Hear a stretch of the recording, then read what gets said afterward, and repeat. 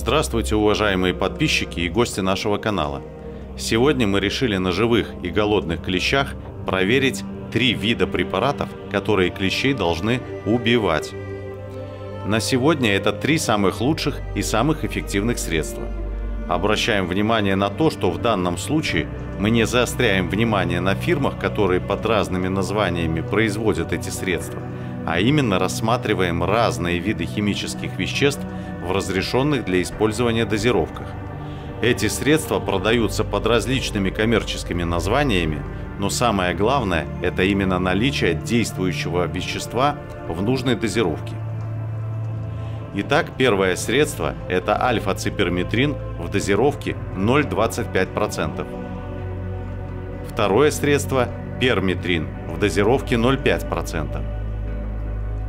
Третье средство – циперметрин в дозировке 0,125%. Заостряем внимание на том, что все эти три средства применяются только для обработки верхней одежды по инструкции, в респираторе, резиновых перчатках и в хорошо проветриваемом месте. Перед экспериментом мы сразу расскажем, почему мы хотим, чтобы клещи у нас бегали по обработанной ткани именно в горизонтальном положении. Дело в том, что мы используем акарицидные средства, которыми обрабатываем одежду, уже довольно-таки продолжительное время, более пяти лет. И сколько раз мы не наблюдали, что на нашу одежду попадал клещ, он пробегал, как правило, по одежде, когда одежда расположена в вертикальном положении, не более 5 сантиметров, ну максимум 10 сантиметров. И, соответственно, что происходило в этом случае? Клещ явно чувствовал химию и он первым делом старался убежать. Он, например, начинал бежать вниз, в сторону, не вверх, а вот немножко как бы в другом направлении. И когда видел, что спасения нет, он просто складывал лапки и катапультировался вниз. Тем самым он или погибал, или спасался. Мы точно не знали, но мы видели, что средство химии действует. И нам нужно было провести именно реальный эксперимент. Поэтому мы хотели заставить клеща пробежать по обработанной ткани ну, где-то расстояние от 10 до 15 сантиметров. И мы сознательно расположили эту ткань в горизонтальном положении. В этом случае клещ, даже если ему будет очень плохо, он не сможет катапультироваться и тем самым исказить результаты наших экспериментов. Мы хотим гарантированно заставить пробежать клеща по так называемому химическому минному полю не меньше, чем 10 сантиметров, от 10 до 15 сантиметров. Сразу скажем, что более длительные забеги мы даже и не планировали устраивать по химически обработанной ткани. Потому что ну, мы более чем уверены, что при длительном воздействии химии клещ гарантированно погибнет. Нас интересует именно, сможет ли клещ выжить после контакта с обработанной тканью и именно кратковременного контакта. Мы будем использовать три разных средства, которыми мы пользовались, о которых имеем свое мнение о каждом из этих средств. И тем не менее мы считаем, что каждое из этих средств очень действенное. Поэтому приступаем к эксперименту.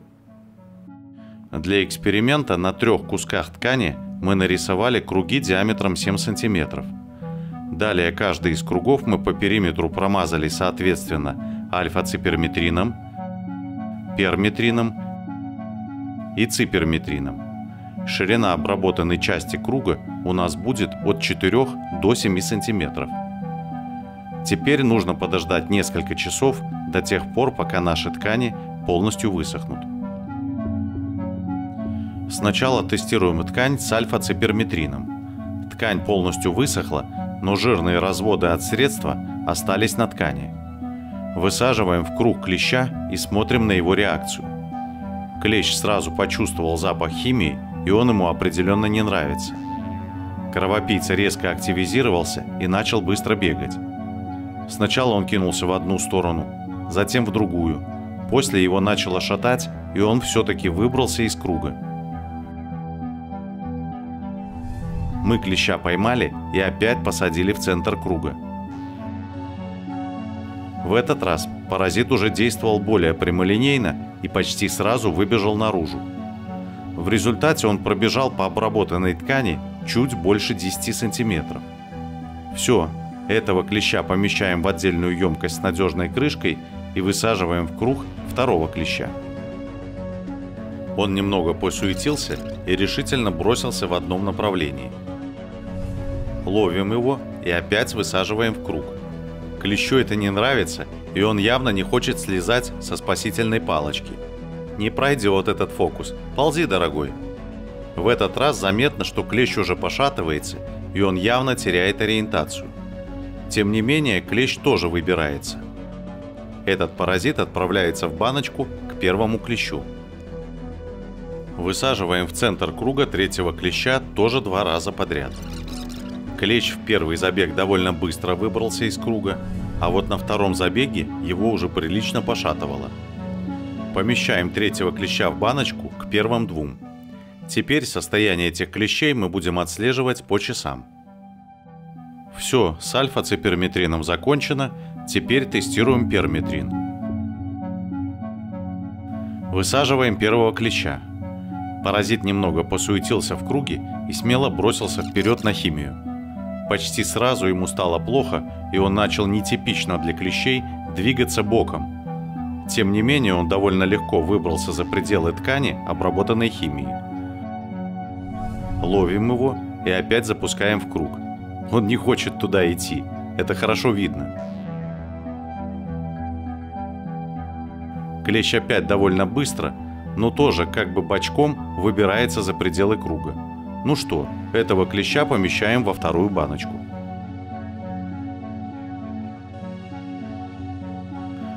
Берем второго клеща и садим в центр круга. Паразит явно чувствует химию. Клещ начинает двигаться вперед, но как-то медленно и нерешительно. Он постоянно щупает лапами ткань и ползет как бы бочком.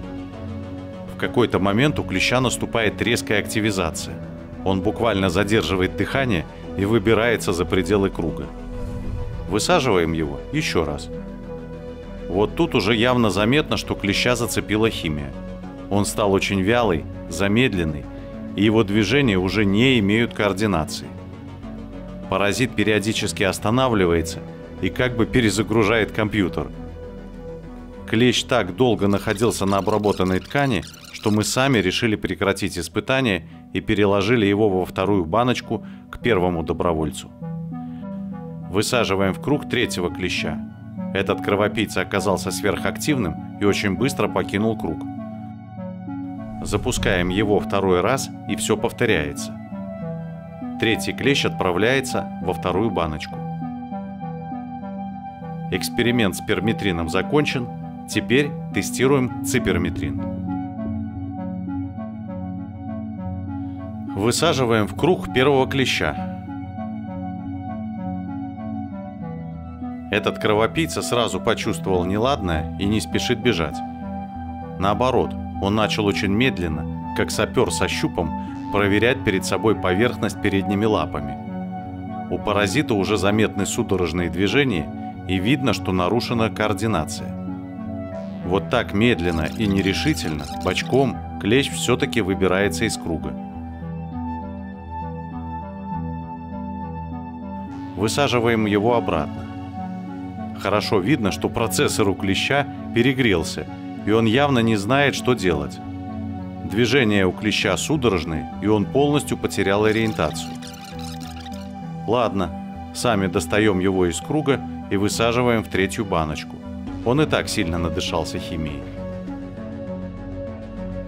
Запускаем второго клеща. Этот кровопийца оказался сверхактивным и практически сходу он выбрался из круга. Правда, на конечном этапе забега его уже немного зашатало. Ловим клеща и высаживаем в круг второй раз. Хорошо видно, что клещ уже как пьяный. Его конкретно пошатывает, и бежит он змейкой. Отправляем его в третью баночку. В круг запускаем третьего добровольца. С первой попытки клещ довольно быстро выбежал из круга, но как бы в конце споткнулся. Ловим его и опять опускаем в круг. Теперь паразит уже начинает терять ориентацию и как бы периодически спотыкается. Садим его в третью баночку. Все, эксперимент закончен. Теперь будем за клещами наблюдать.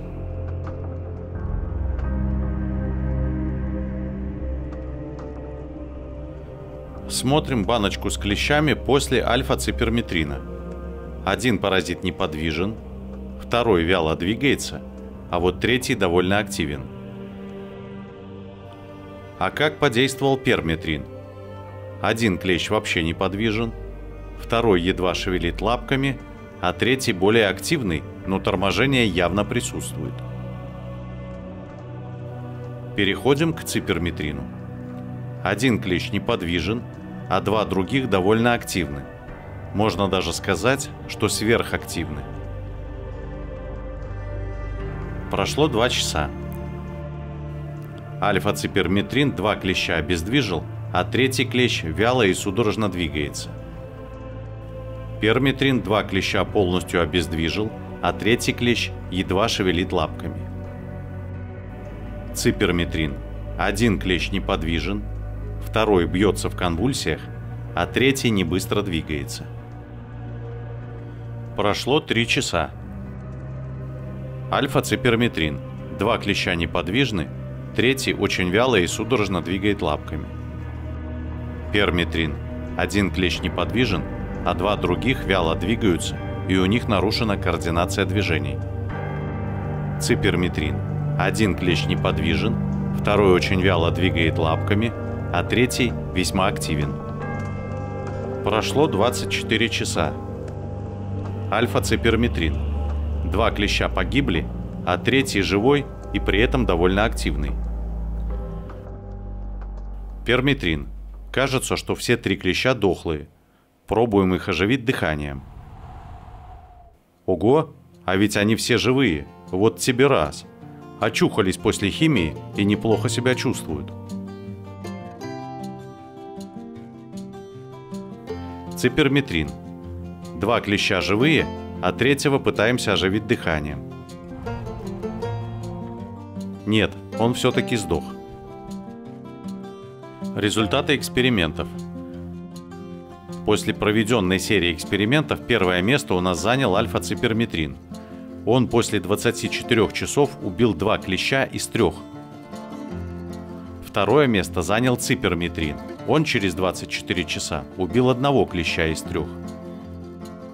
И третье место занял перметрин.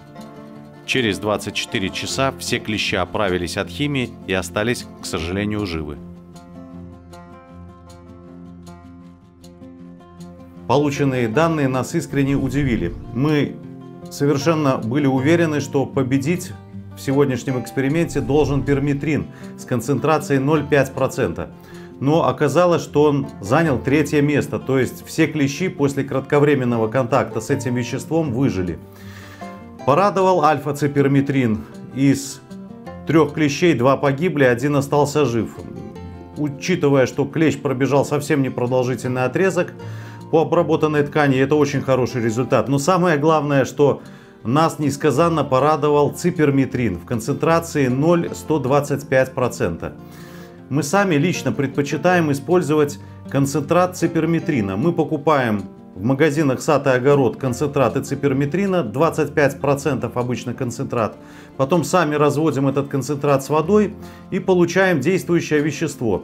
И это вещество, как оказалось, очень хорошо воздействует на клещей. Но, к слову говоря, мы уже 5 лет обрабатываем одежду именно самостоятельно разведенным циперметрином, и за это время нас еще ни один клещ не покусал. Поэтому все результаты, которые были получены, они нас с одной стороны удивили, с другой стороны порадовали. И самое главное, какой плюс эксперимента? Дело в том, что циперметрин отстал от альфа-циперметрина совсем немножко. Но разница в цене у этих двух препаратов просто ошеломительная. Если альфа-циперметрин которым нужно обрабатывать одежду, в магазинах стоит довольно-таки дорого, то концентрация перметрина, которым чаще всего обрабатывают территорию, стоит сущие копейки. И если мы самостоятельно разводим циперметрин для обработки одежды, то мы получаем ну просто смешную цену препарата, которым можно обрабатывать очень много вещей, одежды и стоимость ну, близится практически к нулю. Полученные в результате эксперимента данные нас весьма порадовали, и мы считаем, что результаты этого эксперимента можете с успехом использовать и вы, уважаемые подписчики и гости нашего канала. До новых встреч, друзья!